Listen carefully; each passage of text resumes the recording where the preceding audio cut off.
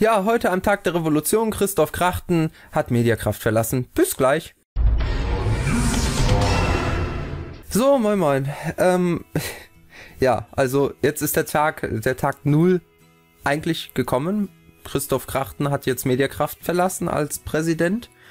Aber Spartacus Olsen ist geblieben. Also der Geschäftsführer von Mediakraft, äh, der CEO Spartacus Olsen ist geblieben. Christoph Krachten musste seinen Hut, Hut nehmen und jetzt möchte Mediakraft ja angeblich den Neuanfang wagen. Aber wie soll das denn gehen? Ich meine, alleine Krachten als Bauernopfer hinzustellen, führt doch zu nichts. Es sind doch noch immer alle anderen da. Äh, Spartacus Olsen war doch derjenige, der die Pressemitteilung rausgegeben hatte, damals als Hashtag Freiheit gewesen ist. Er, Olsen hätte damals noch den Laden retten können, indem er eine ordentliche Pressemitteilung, so nach, vielleicht mal nach dem Motto, ja, okay, kann's gehen, wir wünschen dir alles Gute, du kannst deine Kanäle behalten. Wenn er so etwas rausgegeben hätte, dann wird das Netzwerk heute sicherlich ganz anders dastehen als damals. Das war eine Fehlentscheidung, die halt nur die Spitze des Eisbergs der Fehlentscheidungen gewesen ist von der Geschäftsführung von diesem Netzwerk. Damals gab es ja dann auch die Spekulation, weil halt die Pressemitteilung von Spartacus Olsen rausgegangen ist und nicht von Christoph Krachten,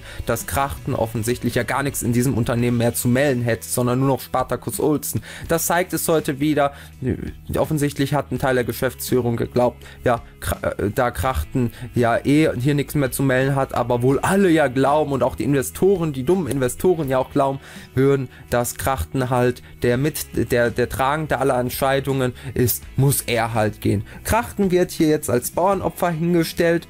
Nicht nur er hätte gehen sollen, sondern auch Spartacus Olsen und das ist das große Problem an der, an der ganzen Misere im Endeffekt. Jetzt ein Netzwerk muss man sich so vorstellen wie eine, wie eine Luftblase, die halt in dem Moment am Platzen ist, wenn halt die Partner weggehen, wenn keine neuen Partner mehr hinzukommen und auch dadurch keine Investoren mehr hinzukommen. Momentan rennen immer mehr YouTuber Mediakraft weg.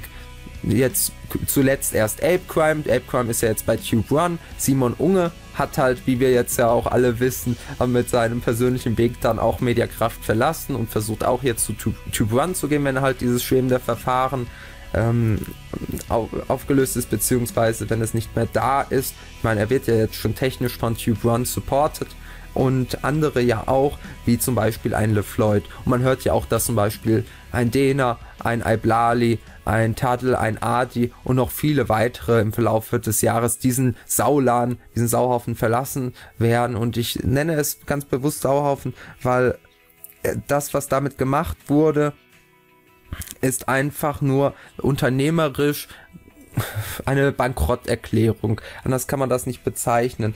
Ein Spartacus Olsen ist, wie ich meine, für alles hauptverantwortlich, was da negativ gelaufen ist. Ich weiß gar nicht, aus was für einer Wirtschaftsschule den, äh, die den rausgezogen haben. In jedem Fall ist das etwas gewesen, wo man, wo man einfach festhalten muss, andere Netzwerke gehen besser mit Krisenmanagement um. Es gibt natürlich auch in anderen Netzwerken Probleme, keine Frage. Aber da werden häufig die, da werden im Normalfall die Probleme intern geklärt. Da findet man dann einen Kompromiss und dann ist auch gut. Und das hat bei Mediakraft überhaupt nicht mehr funktioniert. Und jetzt äh, steht, äh, jetzt stehen die Gesellschafter und die Investoren von Mediakraft vor einem riesigen, riesigen Scherbenhaufen und versuchen jetzt quasi so zu tun, indem sie halt krachten, ge gegangen haben im, im Endeffekt äh, oder gehen haben lassen. Ich, äh, ich, glaube nicht, dass das ein freiwilliger äh, Rücktritt gewesen ist. Er war ja dann, äh, da musste einfach jemand dann als Bauernopfer hingestellt werden, möglichst nicht die wichtigste, die, die wichtigste Figur, zumindest aus Sicht